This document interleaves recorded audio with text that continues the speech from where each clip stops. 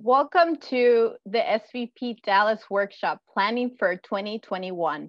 My name is Prisma Garcia and I'm the Director of Capacity Building for Social Venture Partners Dallas. If you don't know SVP, SVP Dallas amplifies the impact of those out to do good. We're connecting and supporting philanthropists, nonprofits, and social enterprises to make a greater impact in North Texas. And so today we will have a, our SVP Dallas workshop, which we will explore how social impact organizations can plan and better prepare for 2021. Um, now more than ever with this pandemic, we need to prepare and um, these are key conversations for successful new year. And this is whether you're a nonprofit or a for-profit, we need to continue to execute our mission and avoid a pandemic drift, which I know so many of you have had to take bold risks and um, try make changes and, and pivot um, for in 2020. And so today we have a panel that will share with us some of their recommendations and best practices within the fields of legal, accounting, fundraising, programming, and so many other topics. Um, so today we have with us, um, and they will introduce themselves in, in more detail as we move through this um, webinar but I, I, just wanted to mention our featured speakers today. Um, we have Bob Wright. He's an SVP. He's our SVP founder and partner. Um, he's also a partner of Wright Connatser Law. We have Emily George. She's a CPA. She's also an SVP partner and director at BKD CPAs and Advisors. We have Bemnet Meshesha. Um, she is a DJR alum, and also she's the director of community affairs at the State Fair of Texas. We have Melissa Bair, a vi vice president of corporate engagement at United Way of Metropolitan Dallas. And we have Stacey Guillen, um, director of business development at Kanarys Incorporated. Today, I will be moderating this panel. And of course, we'll have our questions open and available for our audience to submit questions as you hear the speakers. And of course, we we cannot do this alone. And we I would like to thank our sponsors, Something Good Consulting Group, and of course, Wright Connatser Law, um, for their continuous support of these programs. And of course, if you're on social media or you want to share just some something that's insightful to you, please use the hashtag SVPD workshop. And I will turn it over to our panel for some introductions. Hey, hi, Bob. Sorry to interrupt. Um, something is going on with your audio, but we will fix that and then we'll come back to you. So how about we turn it over to Emily George. Okay. All right, thank you. Can you hear me okay? Let me start with that. Okay. Yes. Excellent. All right, so my name is Emily George. I'm excited to be here today. Thankful for this opportunity to talk to you all. I'm a director at BKD, BKD is a national CPA and accounting firm. It means we do audit, we do tax, advisory, and consulting services. BKD has um, about 40 offices in 18 states, and we have about 700 million in annual revenue and over 2,900 employees. So one of the industries that we specialize in and spend a lot of time in is nonprofit, and I'm lucky to get to spend a lot of time there too. I joined BKD probably two years ago now, a little bit over two years ago actually, to create our not-for-profit advisory services for the firm at the national level. In just a span of two years, we've gone from two employees in the beginning to 30 and more than 30 employees now, uh, nine cities, seven states. So we've rapidly expanded just because there was such a need in the community for these services. Today, I spend most of my time leading our DFW practice for this service line. All that to say, what is it we even do? Advisory can mean a lot of different things to a lot of different people. Usually the way I like to explain it is if it has to do with numbers and you're in a nonprofit, chances are we can help, we can find someone who can help, or we've done a project related to that before. A lot of times our services can take, you know, there's, there's a general bucket of projects we do we can serve as the CFO where we come in and become either your full accounting department, part of your accounting department, budgeting, audit preparation, monthly close. We do a lot of operational assessments, what's right from a staffing structure, what's right with technology. We do a lot of implementations, whether that's again the technology side, we've seen a lot of that lately, or even the accounting standard. It's been a busy year for some nonprofits. And then we do um, internal controls, policies, procedures, and grant compliance. Today, we've seen a lot with grant compliance, particularly with the CARES funding that came out. We have the, the PPP funding. We're getting more and more federal funding, doing a lot of projects to make sure we're not double dipping on those expenses, that it's getting applied only to one funding source. And then, of course, as you can imagine, over the past you know six, nine months now, we've done a ton of budgeting, modeling, forecasting, scenario planning, you name it. So that's a little bit about me and kind of what my experience is, and I'm happy to be here today. Thank you, Emily. I'm, I'm sure that we'll get into detail um, there with all those topics you mentioned. Um, so I think now we'll move on to Bemnet and she can share with us a little bit more about herself. Sure. Thank you guys so much for having me and for um, putting this necessary conversation on. It's never too early to plan. And in the year that we've had, should plan very proactively. Um, like they shared, my name is Bemnet Meshesha. I serve as the Director of Community Affairs at the state of Texas. I'm also the immediate past president of the Dallas Fort Worth Urban League Young Professionals and the co-founder of Habesha's Vote. And I bring all of those up because it will come up in conversation today of how we prepare in all of these spaces, whether we're serving on a board or we're doing work in community, um, or whether we have resources. Um, at the State Fair, I help manage our programming and our philanthropy work, um, really serving primarily South Dallas um, residents and organizations that are doing good work building their capacities and offering them the support they need to be as impactful as possible. Um, and a little about me, I'm from the Dallas area by way of Ethiopia, and so glad to um, be having conversations about rebuilding my community. So yeah, I'm looking forward to this. Thank you. And of course, I want to turn it back over to Bob. I think he's ready now. Um, Bob, are you ready? I'm ready. Um, I was ready last time. I just don't think my technology was ready. Um, hi, everybody. I'm Bob Wright. Um, I'm an attorney, um, uh, even though I'm dressed as Bill Belichick today. Um, and um, I, years ago, 21 years ago, I, I, founded Social Venture Partners. So I have a long tenure with the organization, have much fondness for it. Um, my um, life as a lawyer has been um, uh, pretty much in the corporate space. Um, I, in the last 10 or 15 years, have done a ton of work with nonprofit organizations and a lot of social enterprise work. In fact, I teach social enterprise at UTD and have done that since 2009. So it's become a bigger and bigger chunk of my life. So this is a great um, um, uh, uh, panel today. This is a great topic, something I'm really passionate about, um, and something that um, hopefully um, I'll learn something with all of you um, today. So thank you very much. I look forward to this. Thank you, Bob. We learn something every day. And of course, you heard him. He is um, the SVP founder and he teaches a class. So definitely um, ask him a lot of hard questions.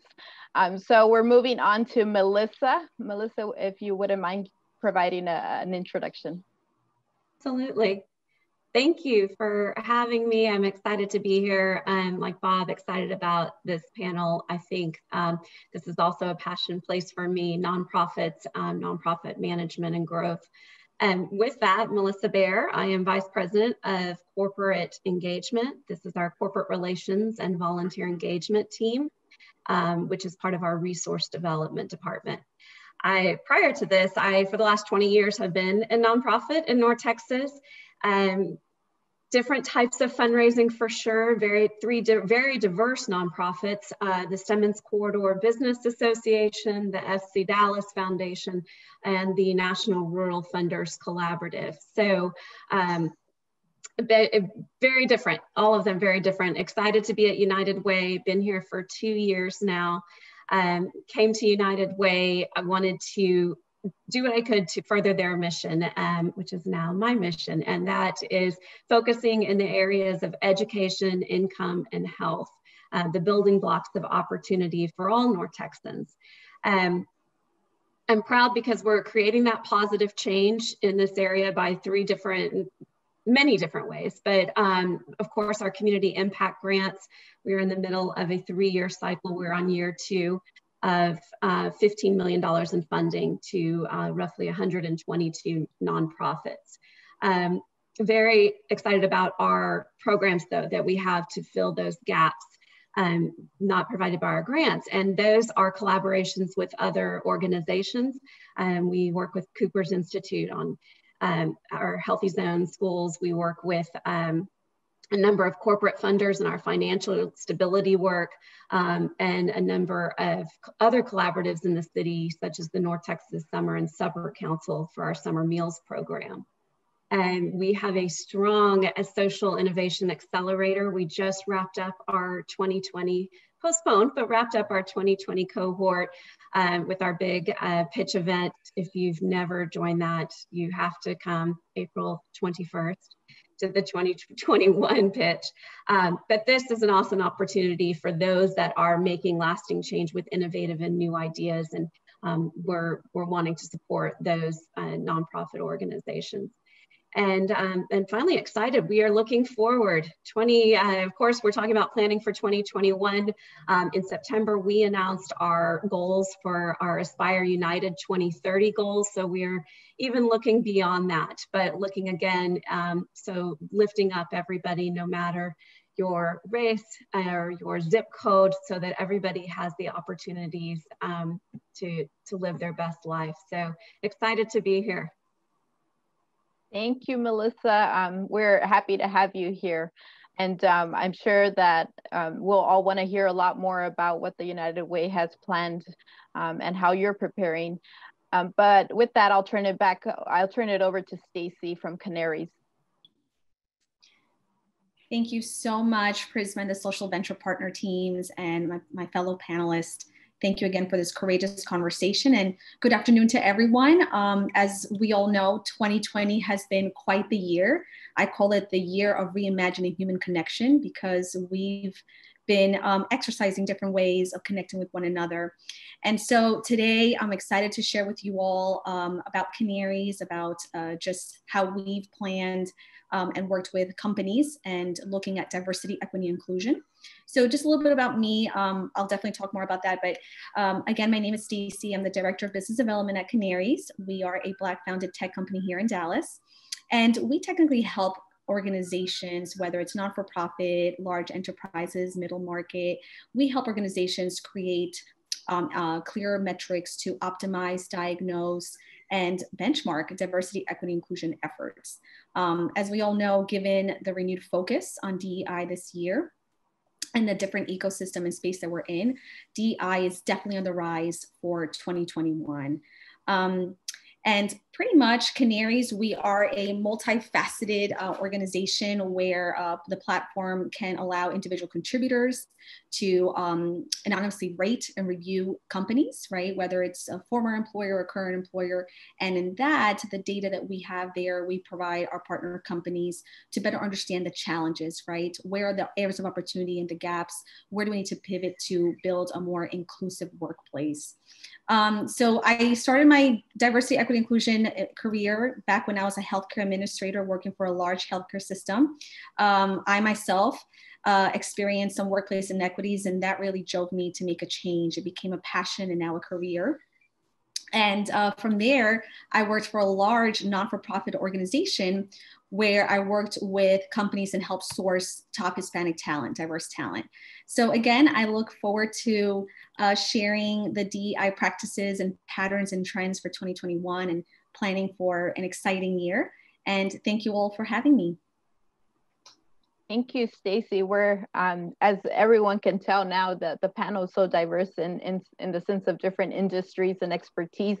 And so in this next section of our webinar, what we do, and if this is the, your first workshop, um, you know, we typically have introductions and then we go into deeper dives because each panelist brings expertise um, to the table. And, and, of course, I wanted to remind you that the Q&A is open and so you could submit questions as you're thinking of them and then we'll get to answer them live later on in the webinar. And so um, we're gonna start off with Bob and, and I know that legal uh, is everywhere, right? Um, you know, it's always been, and, and especially now with the pandemic, we've had to think through so many different situations, um, so many different challenges, fears, um, anxieties, right? And so, Bob, if you if you wouldn't mind, we'll kick it back to you, and um, we can you could share with us some topics to think about as we're planning for 2021. Great, Prisma, thank you. And um, so let me, I think Prisma has teed this up well. That um, in looking at 2021, it's impossible to imagine 2021 without um, an overlay of um, coronavirus and, and, and what does that mean to a planning session and how is that, how is planning different than it was a year ago? Um, and, you know, I don't think any of us a year ago expected that we'd have the 2020 that we had. Um, and, and looking forward at 2021, I don't think we have any better idea of what 2021 is going to look like but I think we can take some of the things that we learned about the drastic change between 2019 and 2020 and, and apply it to our thinking about 2021. And to me, I, I, as I made notes and thought about this, the thing that kept coming back to me, really two words. One was resiliency and the other is flexibility. And they are very closely related, but they're the two, in my mind, watchwords that we want to make sure that we take into account when we're thinking about 2021. In 2020, we implemented um, from like March on a whole bunch of interim things that we hadn't really built into our um, our ex expectations for 2020. Um, and uh, when everything changed, we had to think about things like how do we deal with a remote workforce?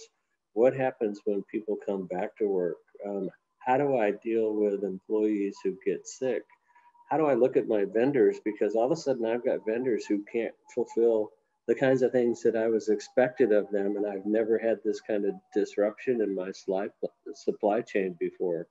What does this do to my organization from the standpoint of um, um, funding or sales, depending on what your revenue sources are? And so all of these things are kind of in play, and we can talk a lot more about many of them, but the things that really strike me are um, a couple of things. One is, what do we take from the interim measures that we put in place in 2020 and how do we think about making them, quote, permanent or at least um, expected to be in play for all of 2021?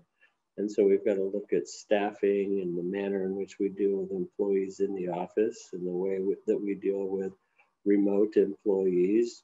Um, you know, what about how does how does a remote workforce um, change our thoughts about the technology that we need in order to um, support that remote workforce, or or how do I maintain culture and all of these things? You know, they may not seem like they're legal, but all of them have legal aspects, and so I'm hopeful as we dig into this that we'll be able to um, answer some concrete questions because it's um, we've never done this before. And when, when I say we, I'm talking about um, me as a lawyer as well, right? So um, I'm not, I don't bring any particular expertise to this other than 38 years of legal experience and a bunch of changing conditions over that time. But, you know, this is my first pandemic as well.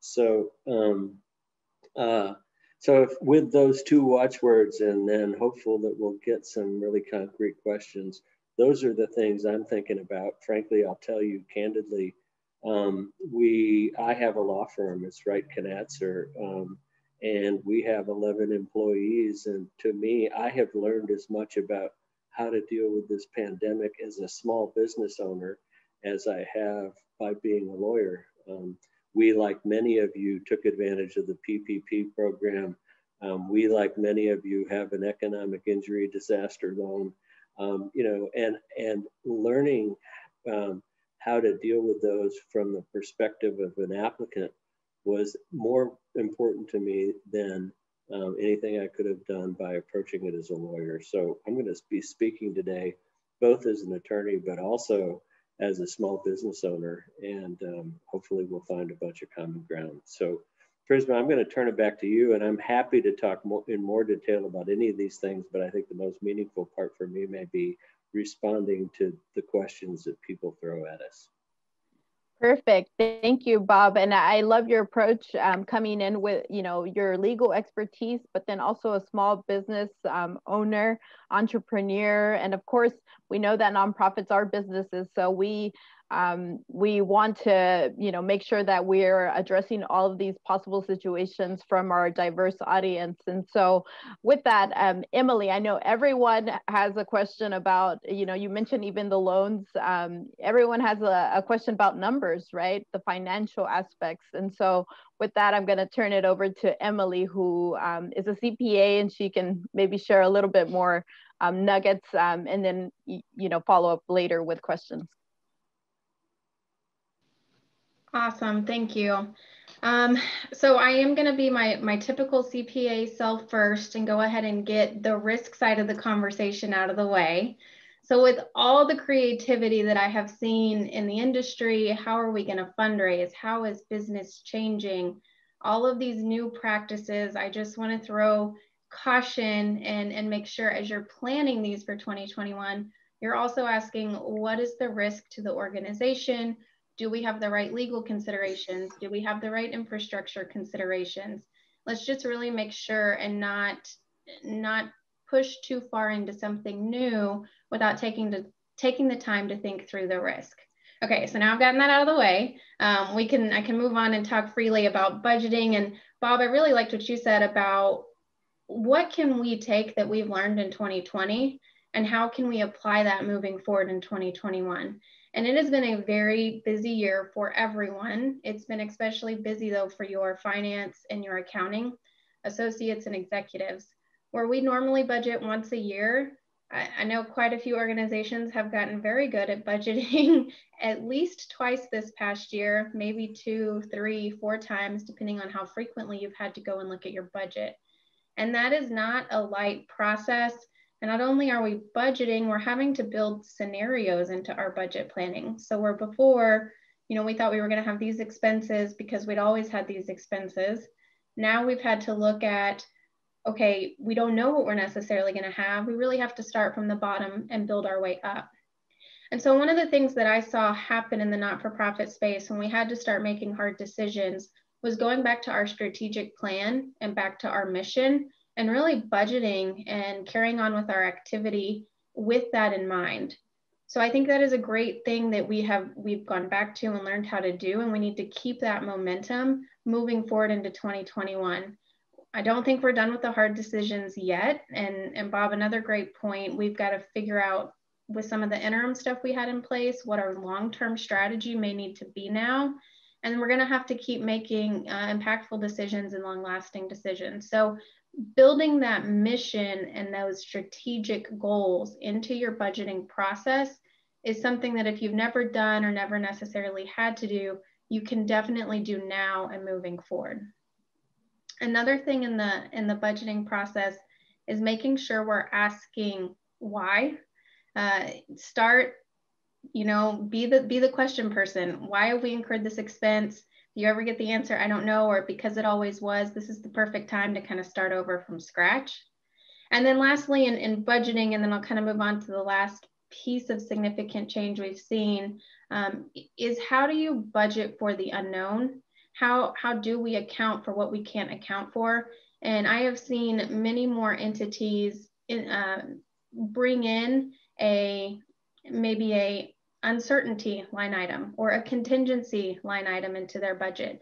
Maybe we're looking less particular by line item, but the overall outcome.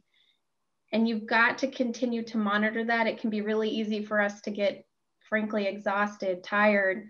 We've done it, we've set our budget, we're good. we have to keep watching our budget. We have to keep seeing how we're doing compared to our expectations. And we've got to be ready to react. We can do a lot of scenario modeling ahead of time. The nonprofits that had this as part of their infrastructure were able to adapt very quickly. So it's kind of like a muscle you get to exercise, and we're getting a lot of, of opportunity to work out right now.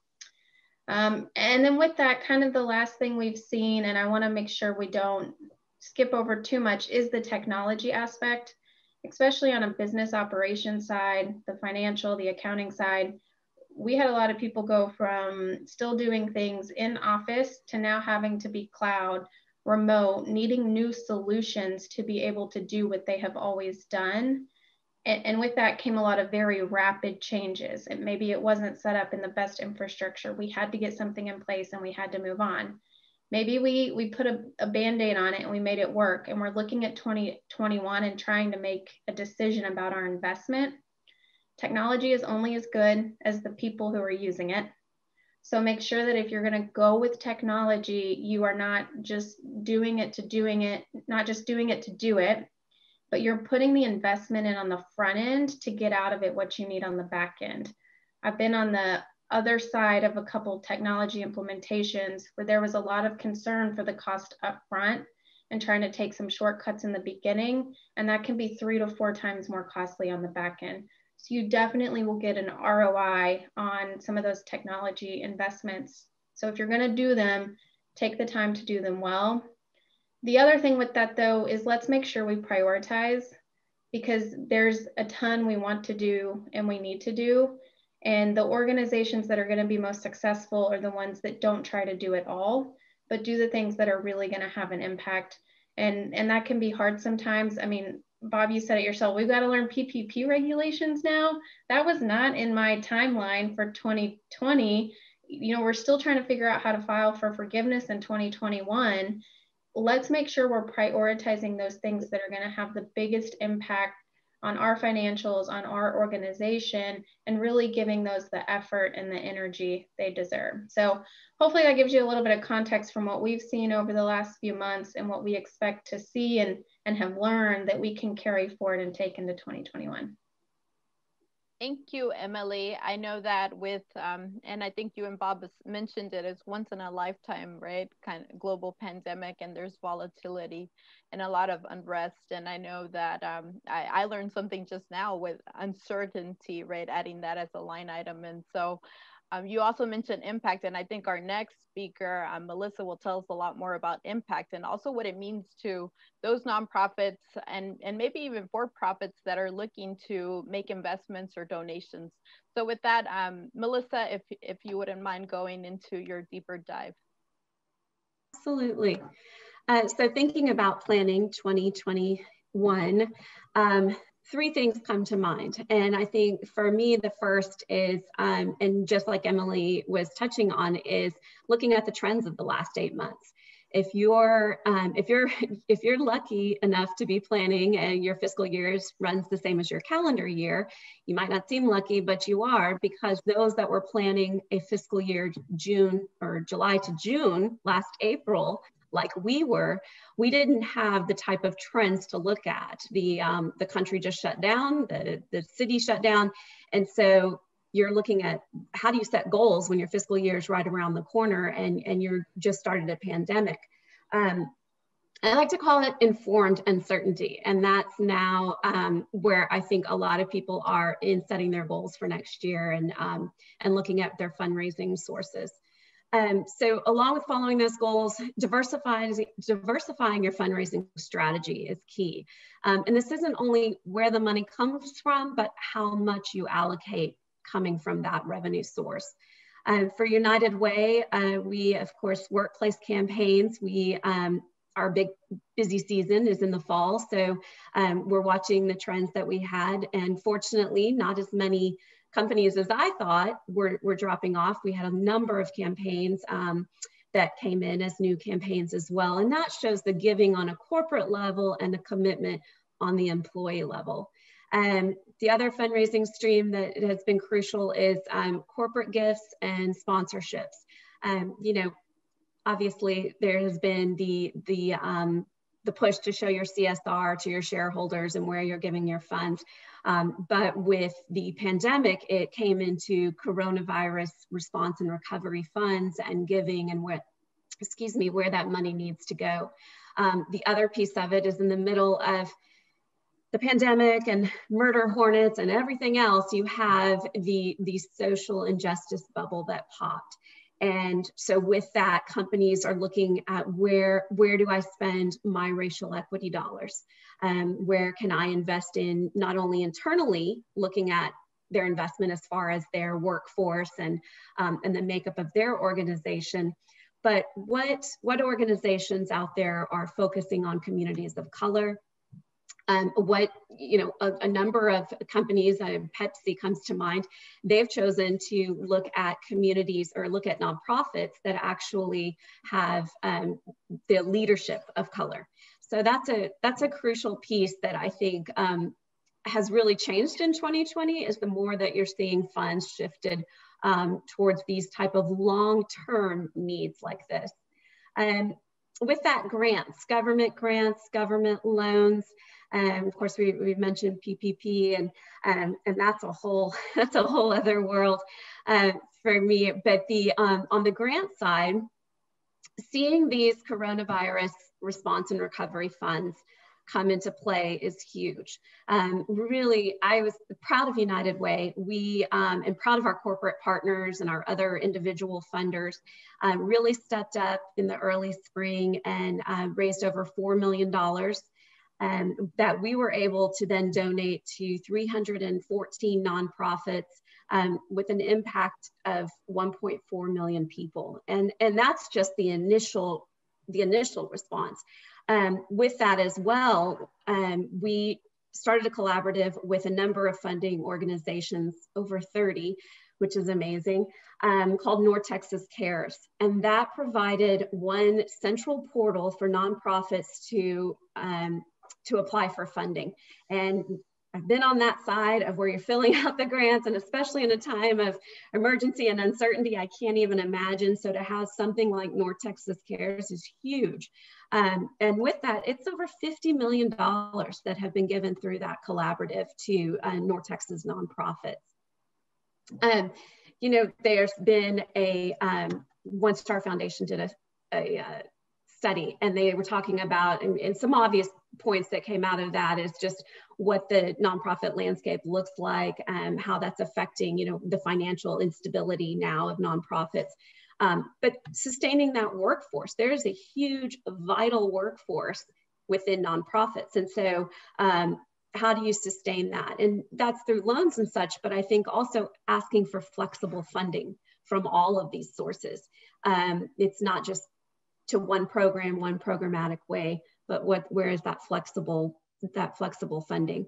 And individuals, a funding stream for United Way. We um, we are fortunate to have a number of um, individuals that give to United Way and have been for a long time and new new people that are learning about the work that we're doing um, because uh, I feel we're doing a really good job of telling our story and talking about the work that that's happening.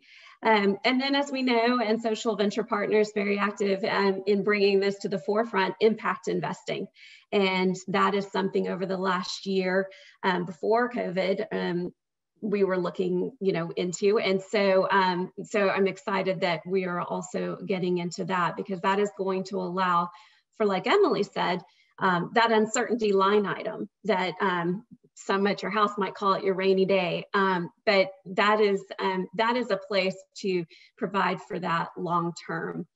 Um, and then in this diversity is where do you, know there's all these different funding streams, but how much should you plan on receiving or, or going after for your um, for your stability? Um, I think some, you know, a lot of nonprofits look at event fundraising as a you know a main source and that was deeply cut this past year. And um, the word you know bob mentioned resilience and um, flexibility. Um, i know pivot is the buzzword.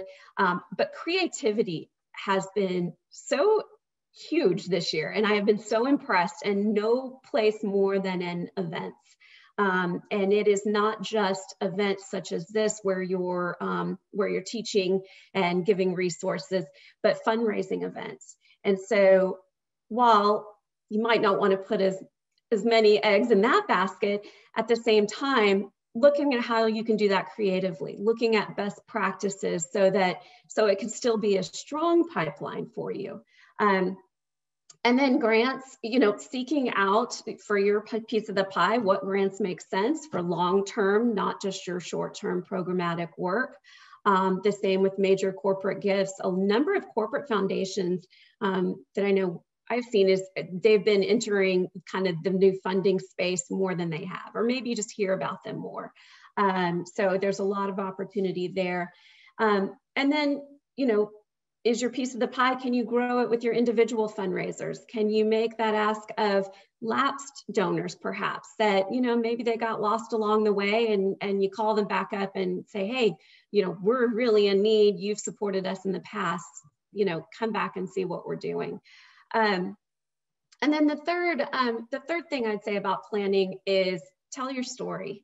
And, and we know that as, as nonprofit professionals, those that, that work in that space, you know it, but I don't think there has ever been a greater time to tell your story and tell your COVID story.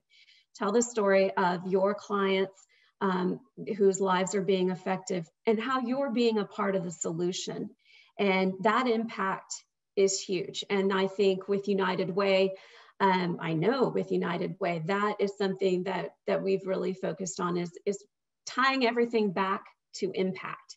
So um, that's where you can show, you know, exactly the evaluation of your dollars and, and where people's funding, you know, will end up. So um, I think that also comes into play with your your end of year giving. So here we are, and we're focused on the holidays. And so, what does that look like? I would say again, story, mm, you know, and not COVID story, but making that that end of year plea and, and no time than now is that more important. Thank you, Melissa. And I don't I don't know how the numbers will change, but typically one third, sometimes even up to one third of the annual giving comes through in, in December. And and Emily might have other stats for me, but um, you know, I think we're all um, you know, we're all getting to the end of year and we need to be thinking about, or maybe hopefully we've already been planning for for those appeals. Um, with that, um, I know that um, we keep hearing DEI. Um, I know within the nonprofits community, um, we've, you know, been, equity has been something that we've talked about, um, you know, and, and tried to do now for some time, in particular at SVP, right, offering trainings and, and different um, workshops for our nonprofits. But um, with that, I'm going to turn it over to Stacey, which, you know, Kanarys is actually um, an investee of SVP Dallas, and so we're we're happy to have Kanarys um, and Stacey here today. Thank you so much. Can everyone hear me? Okay, great. I um I appreciate what Emily, Bob, Melissa. I know that you uh, alluded to some of the racial equity, diversity, and inclusion, and I, I I want to stop for a minute and maybe breathe, right? Because it's been such a tough year, and I, I know I'm, I'm, a very transparent person, so uh, forgive me if I'm if I'm too much here. But I think that uh, first and foremost, we have to extend gratitude and compassion. It's not only been such a psychologically a tough year for us personally, but also professionally. Here at Kanarys, it's funny, you know, we we we usually say, hey, you know, you need to stop. It, we used to call it work from home. Now we call it live at work, right? And trying to blur the lines because our lives are now like, you know, blur between professional and, and, and, personal.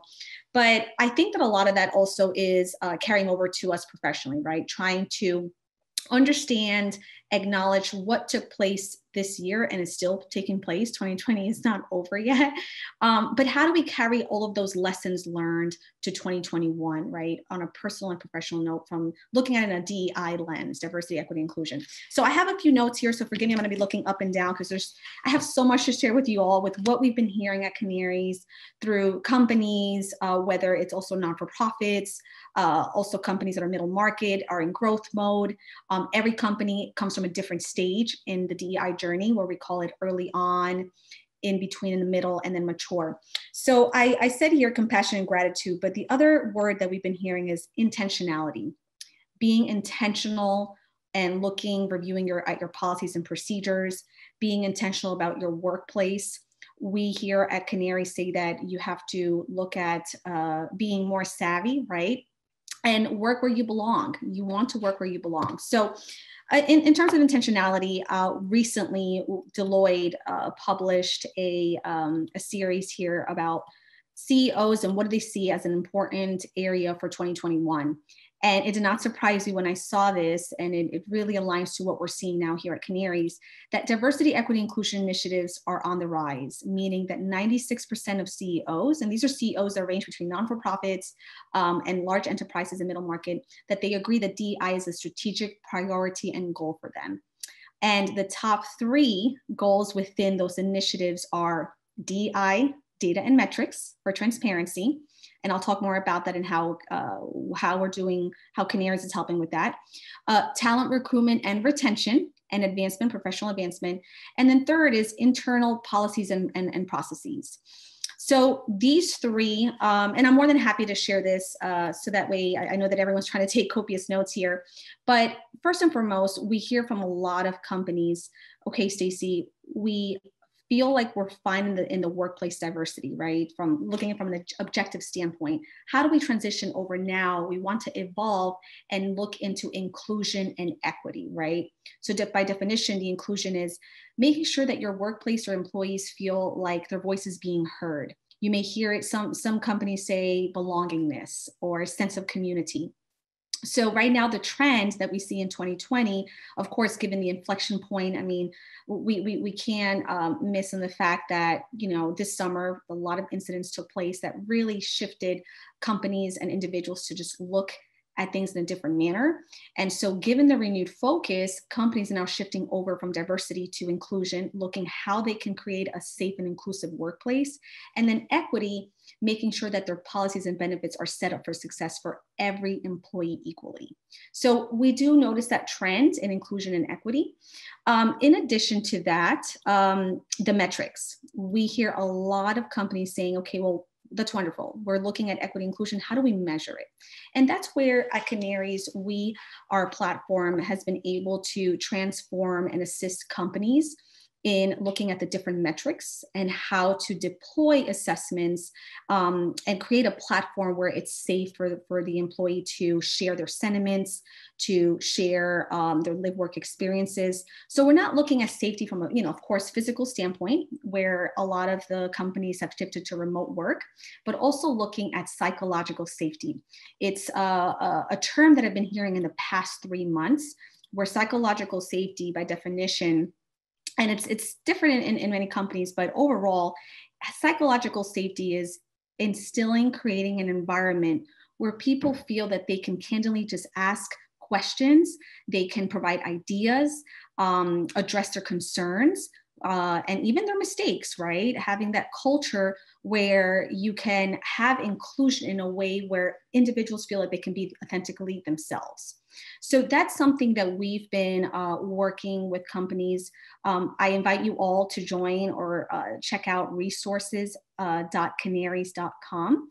That is a, a, place where we provide toolkits, guides um, to start the journey or to fuel or amplify your initiatives and uh, initiatives and, and efforts um, to at least start looking into or exploring what does that mean for my organization? How do I create that environment?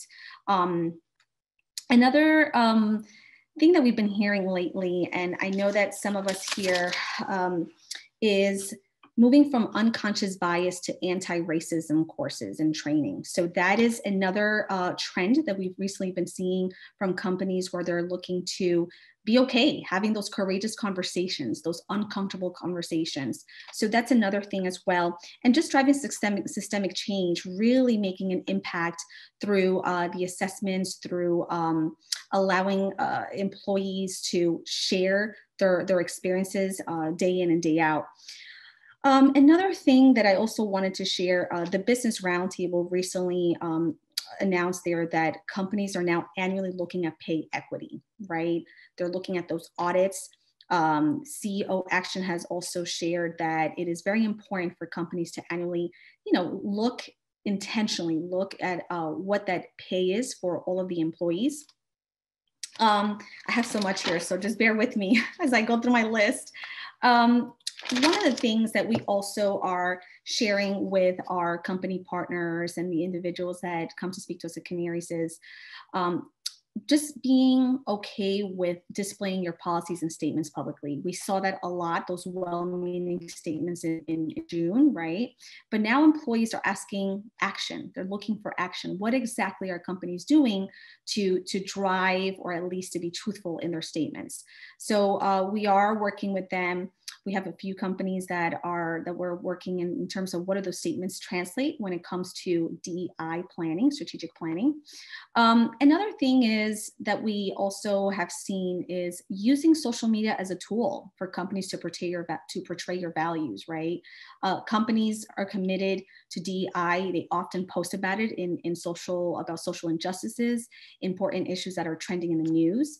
Um, we find that it's a great way to show that the company is aware it's all about awareness. Um, also, what we find uh, that we've been learning, and companies always ask us, is what are the first steps to make um, to make us demonstrate the long-term commitment DNI, or just to continue the growth? And the first question we always tell them to consider is your employee makeup. It all starts internally and then externally, right? So, leadership team, how is that reflective of the communities that you serve? So, Melissa, I know you touched upon this, right? Um, representation and inclusion does matter. Um, we find that diverse and inclusive uh, teams do uh, impact financial performance, they do in product innovation, uh, they impact team collaboration. So I know some of us know the business case, but I just wanted to emphasize the importance of that.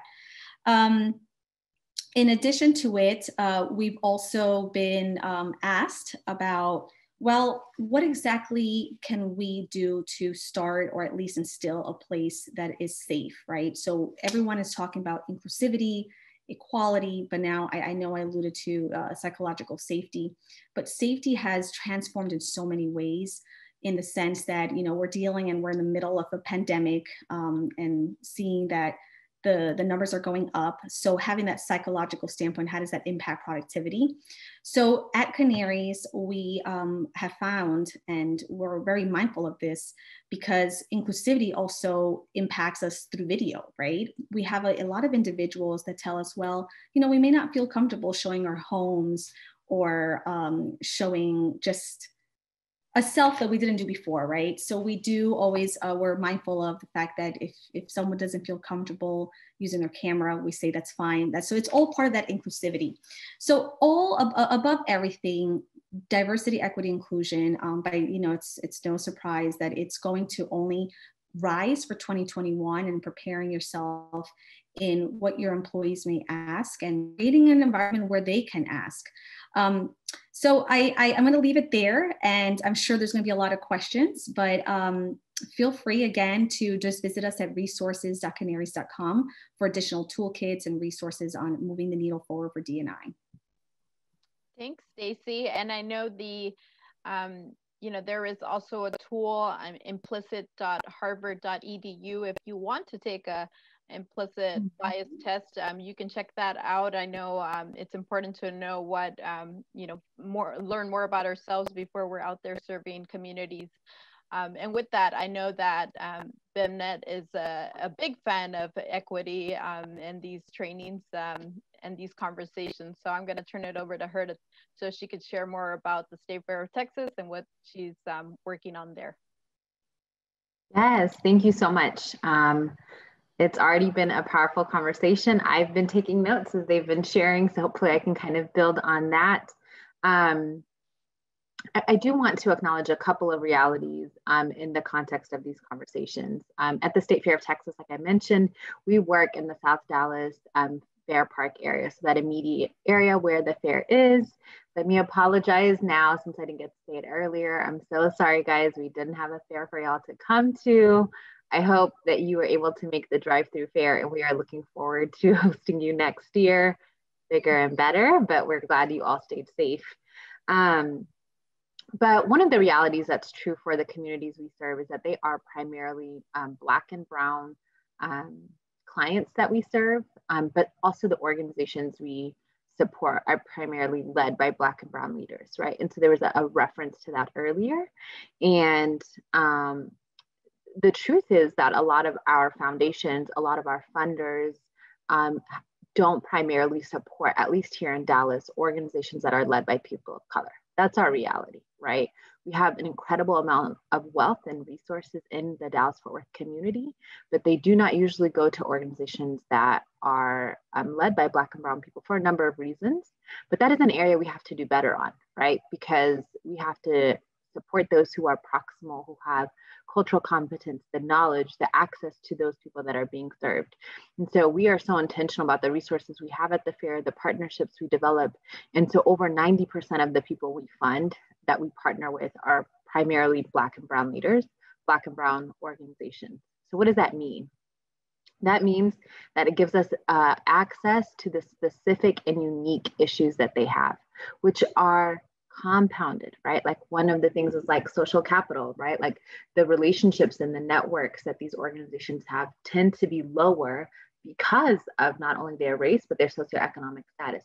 They tend to be smaller nonprofits, right? Not with a lot of budgets, not with a lot of donors, not with, but they are doing twice the work with half of the resources. And that's just the truth, right? Maybe against a nonprofit serving a similar demographic north of 30. Um, and so our group and the people we have served had to be very resilient, very innovative, very creative to stretch the very few resources that they have. Um, and one of the ways that I want to uplift that is the value of unique partnerships. I think we have seen people partner. Um, even partnerships maybe you wouldn't expect or anticipate, right? We've seen more public and private partnerships. We've seen um, more cross-discipline partnerships. I love like, you know, we need to be thinking about how schools and a chamber and a nonprofit can work together in accomplishing their same collective goals for um, education, right? Or um, seeing maybe a hospital, a bike club, and a food pantry. How are those related? They're very related, right? They have a health goal. And so we're seeing organizations that are really coming together and pulling their resources because of how limited it is and, and really targeting their demographic to make sure that the client is not suffering um, in this time and making sure there's enough wraparound services. One of the um, events that took place in the summer repeatedly was a partnership with like Carter's House, which provides clothing. Um, I Look Like Love, which provides diapers for single and young and expecting mothers. Um, the Census Bureau, the YMCA and Miles of Freedom, right? You're like, how do those come together? Well, they did a food drive. When they did the food drive, somebody was making sure that these communities were counted for the census, which was an important work because we didn't have any dollars allocated by our state to making sure these undercounted or underrepresented groups were, right? And so um, I think we have to think very creatively and proactively now. I would challenge you guys to say, what partnership am I missing in my organization, right? Like, who is missing from the kind of work that we do? And where can I build that strategically in the next two to three months, right? Who do I need introductions to? What kind of organizations? If I really have it pat down with serving students, but um, I really need um, more support um, in um, the technology aspect because of the families that I'm serving, right? Like, so it's even beyond what service do I offer, but what service do my clients need that I'm unable to fulfill that I can partner with to make sure that those needs are met. And so I think the value of unique partnerships is very important. Um, we're so glad I'm at the state fair. We've been able to launch something called Serve Southern Dallas. Um, you can go visit that. It lists a bunch of organizations in the South Dallas Fair Park, but actually, quite honestly, the Southern sector of Dallas. These are incredible organizations doing phenomenal work and need your help. So you can find out how to donate. You can find out how to volunteer with them. We created this site to amplify their voice because these small to mid-sized orgs that are being led by Black and Brown people usually won't have the infrastructure to apply for big dollars, but they are no less doing the work, right? And so how do we center them? How do we bring them along? So absolutely um, just continuing to build on unique partnerships that you can have. Um, there were conversations that came up um, about PPE, right? And uh, planning financially for that and benefits around that. But the reality is, there were some groups who were suffering incredibly in this Metroplex who couldn't benefit. those are immigrants, right? Undocumented groups of people could not benefit from a stimulus check, right? Or have access to some of these necessary resources, but they were no less in need, right?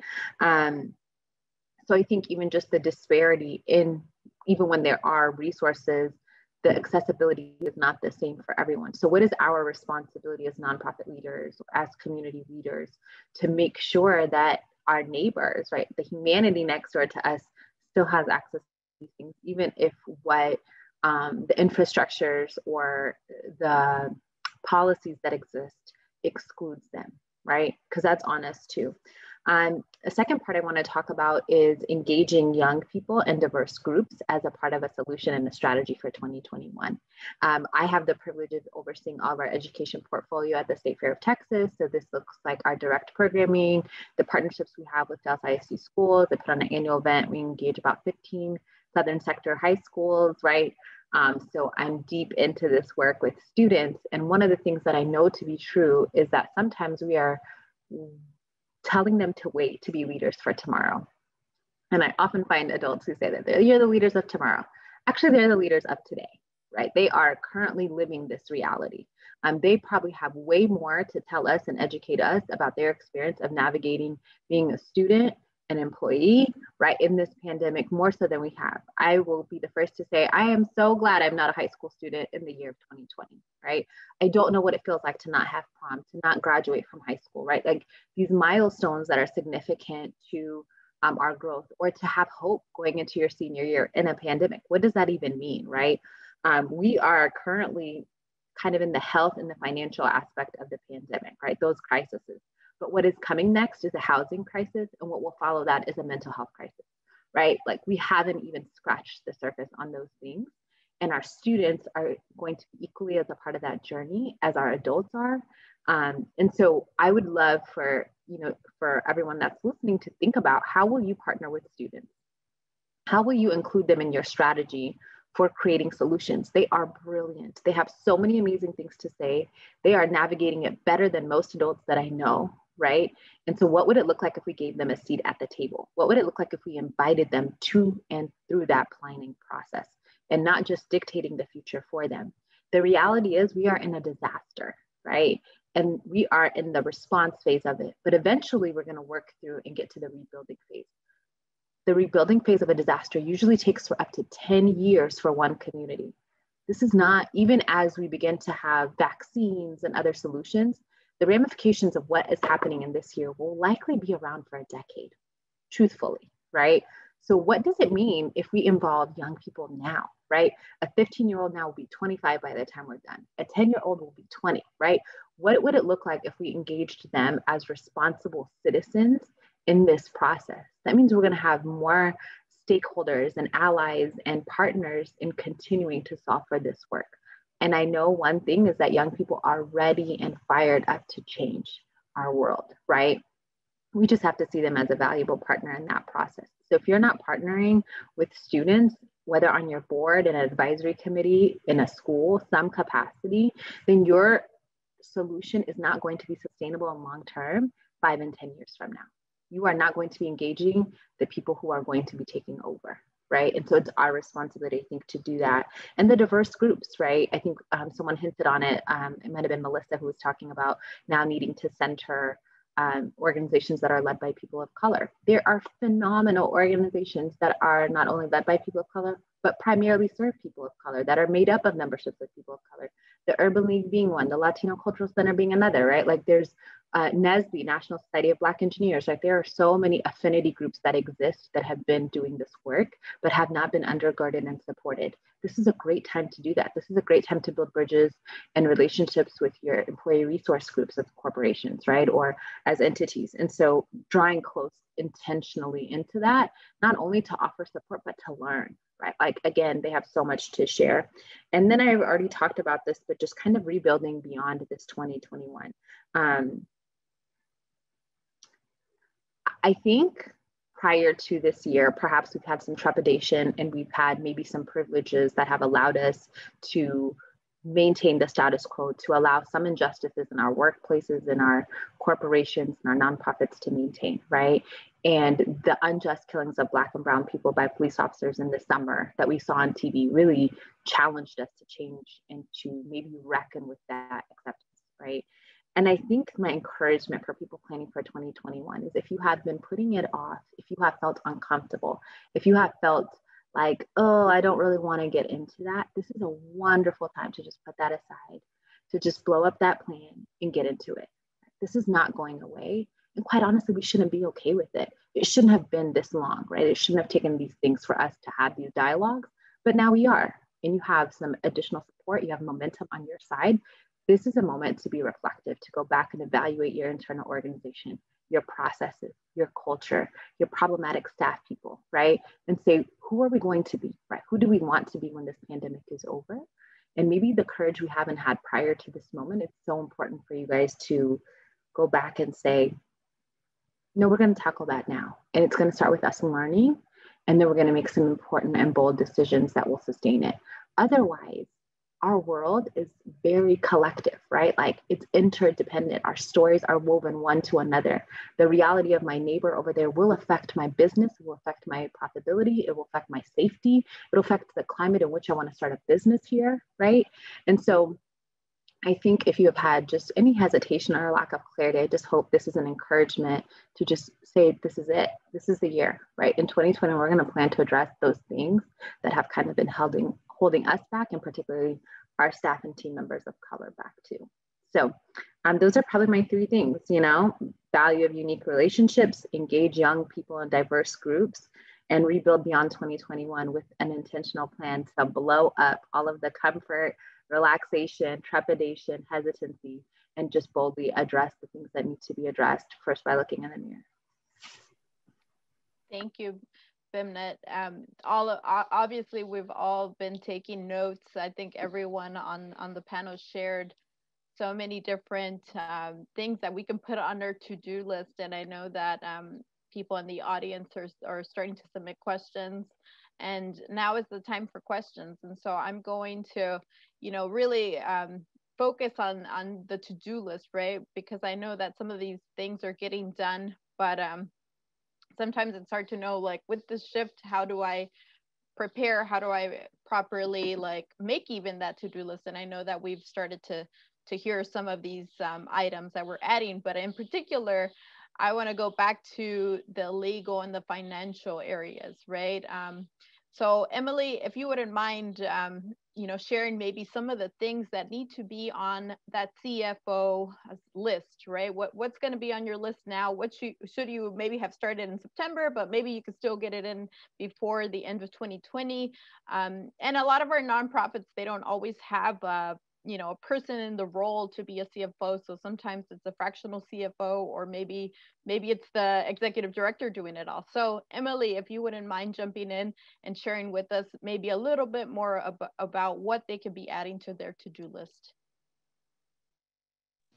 Yeah happy to. Well after listening to everyone who talked after me i think the to-do list just got a lot longer right? And i mean just listening to Bemnet i mean we could all go back and and make sure as part of our strategic initiatives and part of our goals, you know, the pay gap, the pay scale, that is a finance related function and project. And I am fortunate to work with organizations that are doing that and are doing it now. But there's probably a lot of people that aren't doing it or haven't intentionally done that or made that part of an annual process. So that is one great thing to already put on a to do list.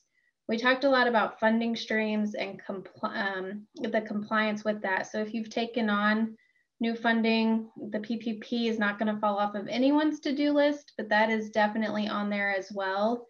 And as we head into 2021, things aren't going to stop changing.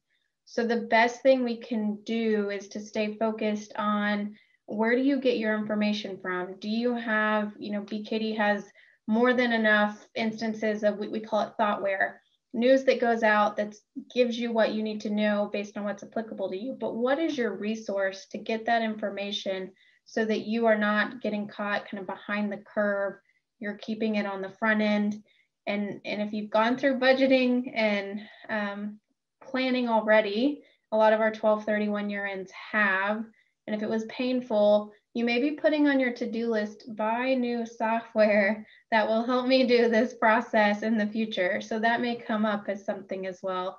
Um, but all in all, I, I, think the best thing anyone could do for their to-do list is listen to some of what we learned in this session today and make sure we're addressing those items. Thank you, Emily. I, I know that with with those considerations, I mean, it, there are some people out there that might be starting. I mean, maybe you're in the middle of starting your nonprofit or your business and your small business, and you know, then the pandemic hit in March, and you were sort of um, maybe had some hesitation and your plans shifted. Um, Bob, what would you say, um, just based on everything we've heard and discussed, and and as you've been thinking through, what is you know maybe a top recommendation you have for nonprofits um, any advice to them or those thinking about starting nonprofits or small businesses during this time?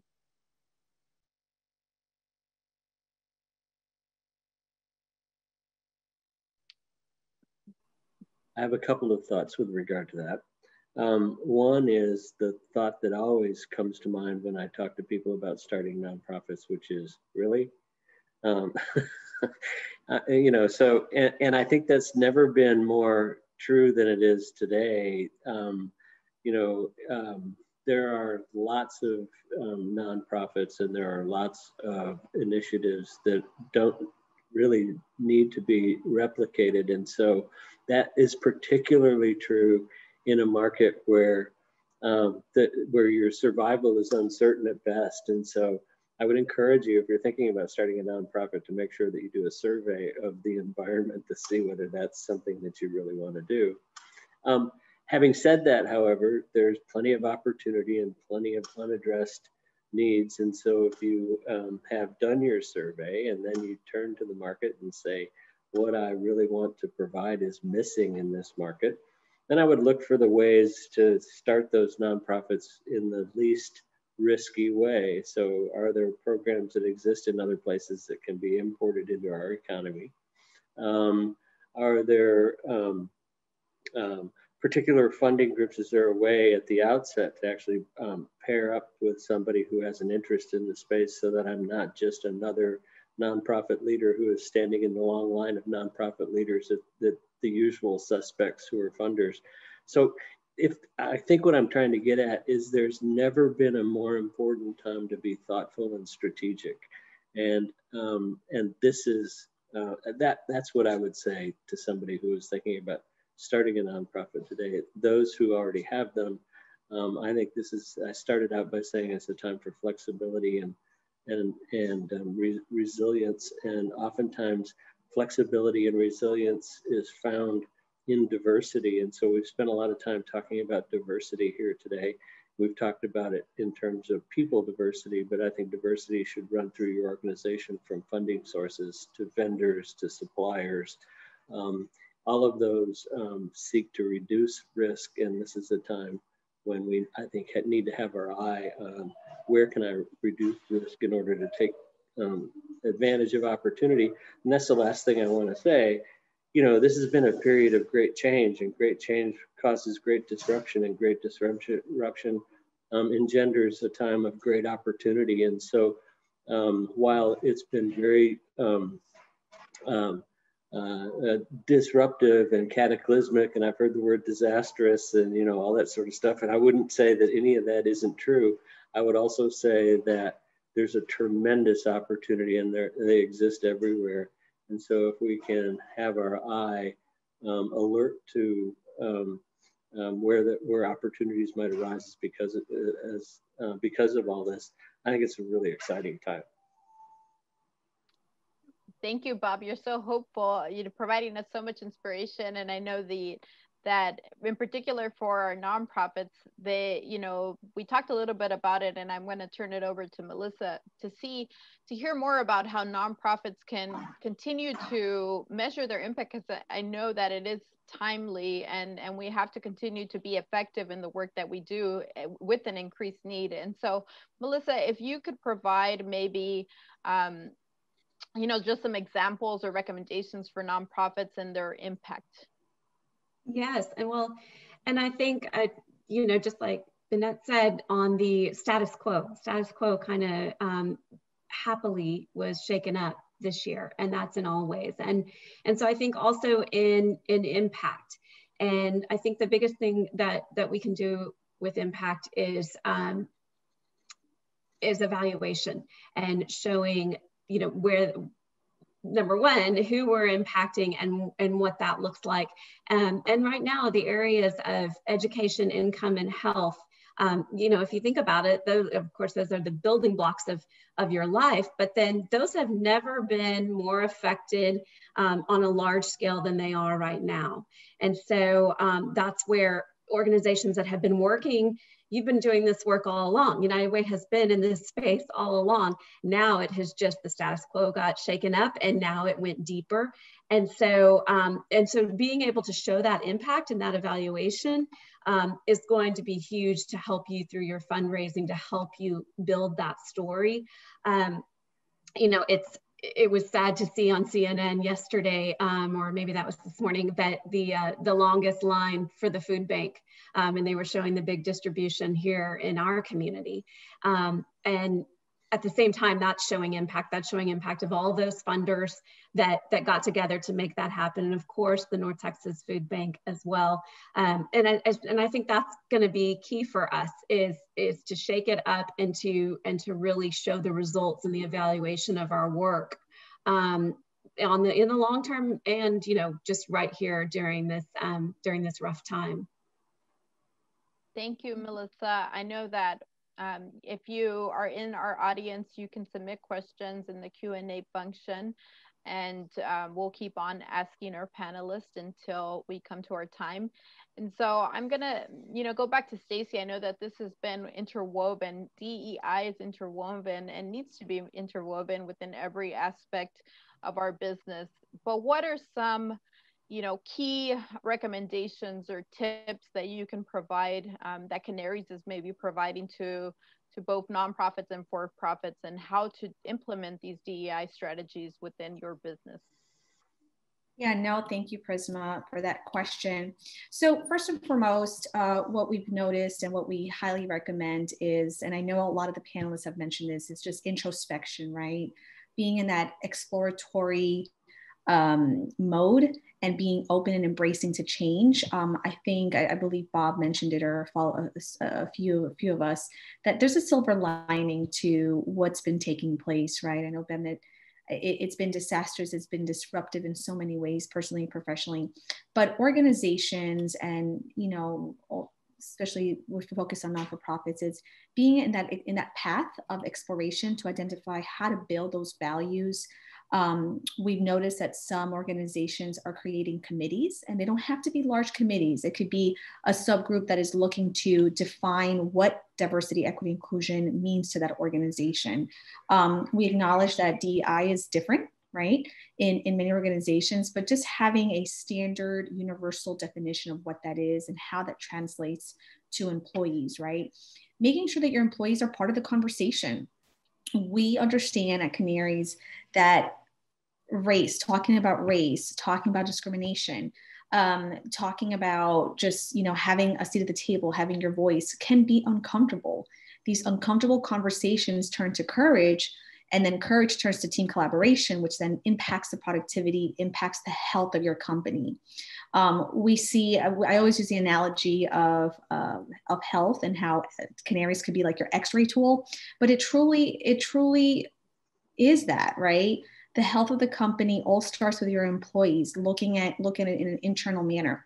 So we urge non-for-profits to just articulate your own values. Um, it's okay to leverage your websites to show what your initiatives are. It's okay to be vulnerable and and to say that these are these are our goals for 2021 um, there's something about putting it on a website or sharing it in social media that translates to accountability, right? It's out in the universe, you manifest it, and you want to move forward. So we we encourage um, our organizations, our non-profits, to look at their employee uh, workforce base. We also encourage the boards, the boards of those organizations, to start questioning, right? It all starts with um, the internal questioning. So we always get uh, the question, well, how do we even start? Where do where do we what questions do we ask? And so I'm going to go back to the resources.kanarys.com. And we spell Kanarys, by the way, K A N A R Y S. It's, it's like canaries, the bird, but we, we changed the wording. Um, we do have a sheet there that pretty much is a how to start a courageous conversation with with your team right i know a lot of leaders are you know just emotionally drained like how do we even approach our employee how do we approach our board about reassessing policies, reassessing the composition of our, of our board. So we, I think um, having those honest internal dialogue is the first place to start and being okay to roll up your sleeves and um, embracing the good that, that, that you hear or the bad or the ugly, right? A lot of organizations are just ready to drive change. Um, I've lately, what I've been hearing from a lot of organizations that they're looking for sustainable change it's okay to have your town hall. It's okay to have a one time training. I think it's a great foundation, but what do we do beyond that, right?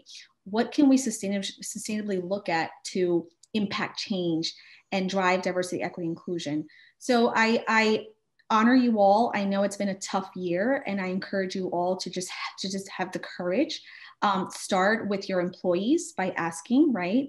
Um, secondly, your national your, your board, whether it's a national, regional, local standpoint, um, having those those conversations. So I would say those would be the the, the top recommendations. Um, and then first and foremost is just building a, a safe, like a safety net, is a safe place for um, for your employees to be able to share their sentiments, right? So whether that's on a listening session, um, we also, of course, at Kanarys, we use a technology to have that mechanism for those that may not feel safe to have a one-on-one conversation.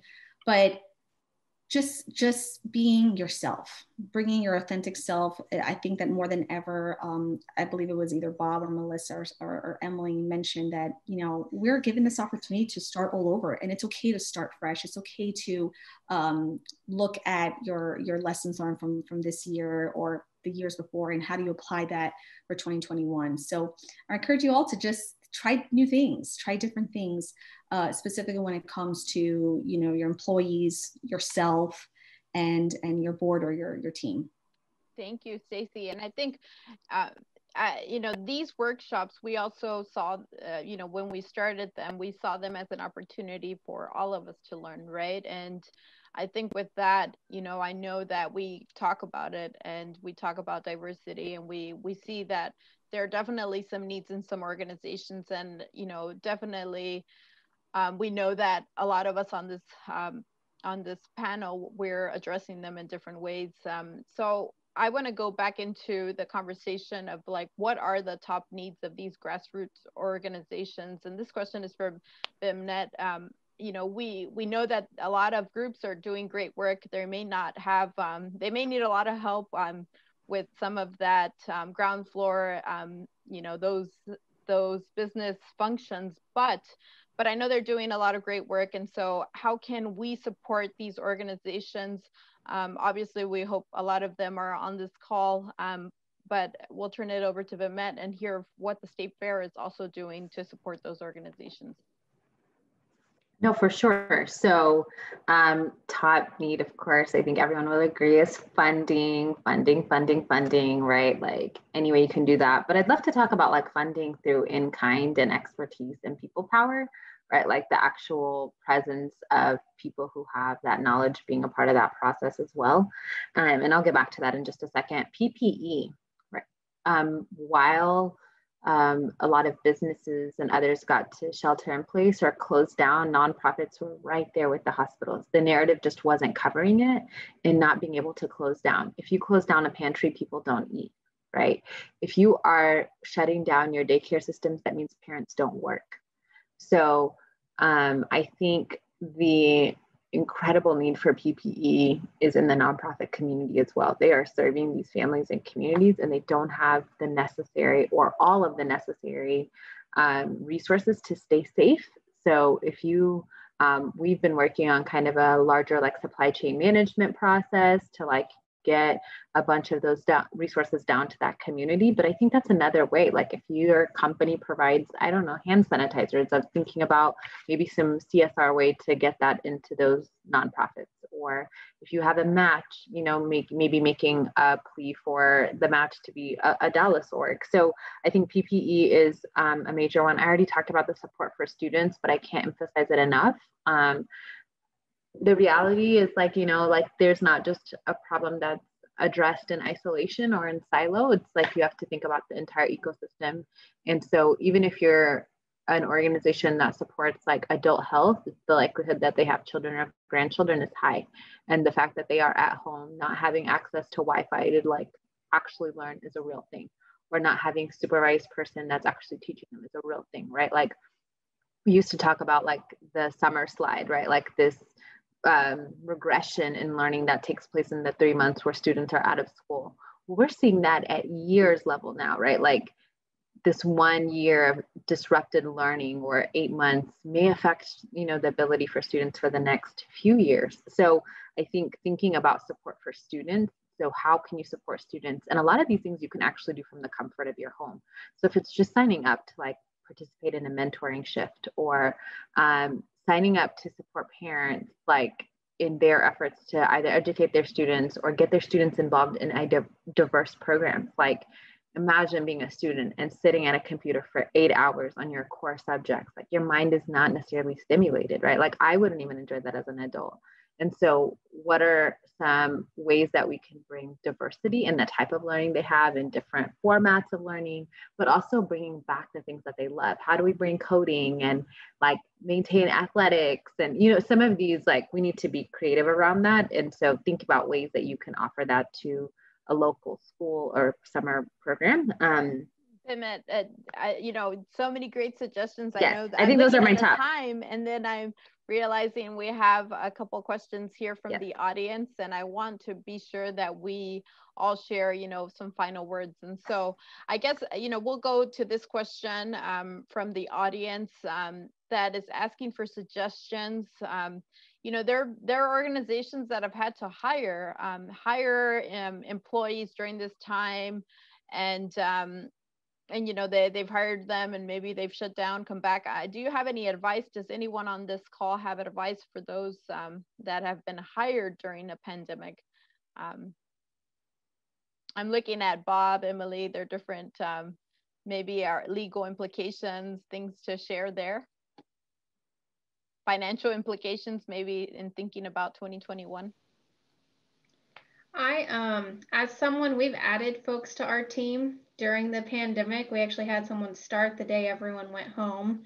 Um, so financially, legally, I don't have a ton of context, but I think we're all looking at how employees stay engaged, how we all stay engaged, how we're all doing our work.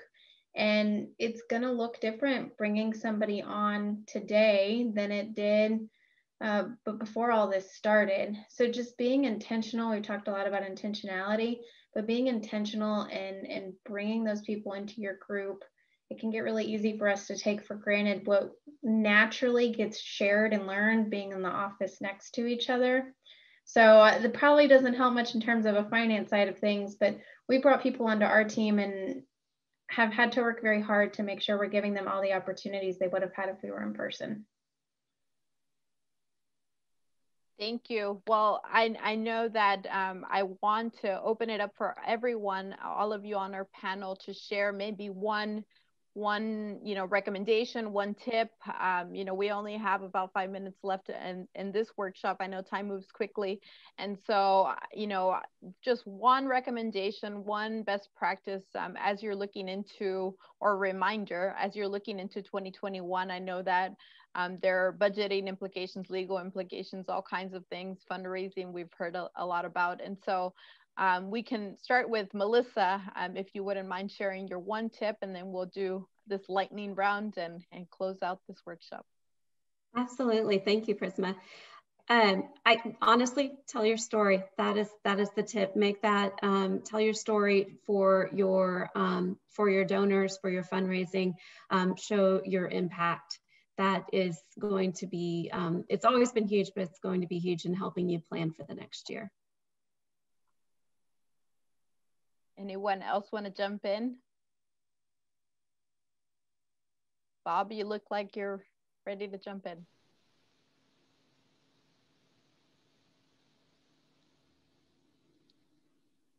maybe we'll go over to to someone else. I can go. I was going to say this is actually my last thing I didn't get to finish is um, for the nonprofits and also for those listening is like find ways to add value through your professional expertise and consulting. That's like probably the biggest thing right now is that as people are unable to pay for these services, if you just could use your knowledge, your proximity, and just like volunteer a few hours, like I think that's like probably the biggest need and the biggest way you can help them and plan for 2021 is like your professional expertise in and, and anticipating some of the challenges, but also finding some solutions. So I think that goes both ways. And same for nonprofits. You don't have to have funding, um, find people who can um, offer that as well. Thank you. Uh, Bob, are you ready now? Mm-hmm. I think he's, uh, we'll go to, there he is. Oh, I, I still think he's having some technical audio issues. So Stacey, why don't you go for it? Yeah, no, um, I, I I'm gonna circle, uh, close the loop here. Um, be you know, be kind to yourself, be graceful with uh, the situation that we're going through right now with the pandemic. I think that um, the pandemic has made uh, going back to diversity, equity, inclusion, all these issues even more apparent. Um, with COVID and the recent Black Lives Matter, um, it has highlighted the inequities of our society. So just being mindful, um, acknowledging being kind to yourself um, and and vulnerable right um, i think that now more than ever the focus will now be on, on, on engagement. I know that Emily uh, did alluded to this. Employee engagement will be very important. Um, I know budgeting can be somewhat of a challenge when it comes to looking at these issues. But as I mentioned, it and and and, Ben also mentioned leveraging your expertise um, again, I invite you all to visit that free resources page. There's a lot of information there where you can start uh, engaging employees, having safe voices, having courageous conversations, um, and then supporting one another in, in such a critical time that we're in right now. Um, finding the positivity and the silver, silver lining in, in what we're going through. Um, so I, I, invite you all to just have these conversations. Um, and thank you all for having me today. I appreciate it. Well, I, I know, Emily, if you want to make a quick comment, now is the time. no pressure, right? Um, I just just to add on top of everything else, we have a lot to do, and there's no way we're going to be able to do it all. So really, if you're in a nonprofit, if you're in your organization, go back to your strategies, go back to your mission, and when you find yourself getting pulled, that's going to be what keeps you grounded. So just take time to find that grounding, to get set. You know, I put sticky notes on my computer, whatever it may be, just to bring you back to that when times get tough or when you feel feel it spreading or reaching out. Thank you. And I know that Bob um, shared uh, with me in the chat that this is a time to refresh your organization, right? If you haven't already started that process, 2021 is definitely the time to do that um, or to do it now and, and, and 2021 being a, a, different year.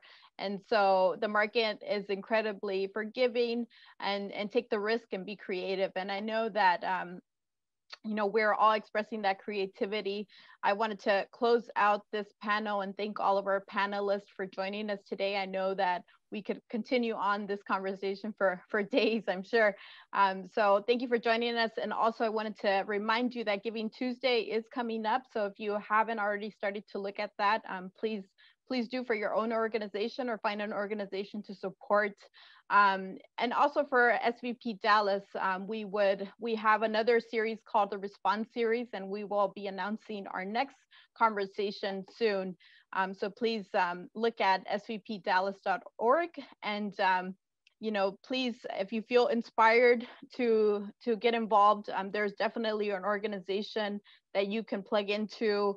And if you're interested in becoming an SVP partner, please reach out to us and we'll be happy to assist you there.